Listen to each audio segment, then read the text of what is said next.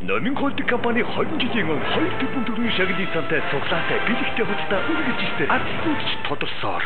Аа би дорн тамхи амьдрал суудаг. Анхуу машиныг очсондоо маш их баяртай. Аа мөн энийг зэдэндээ 20 жилийн баярын мэндийг хүргье.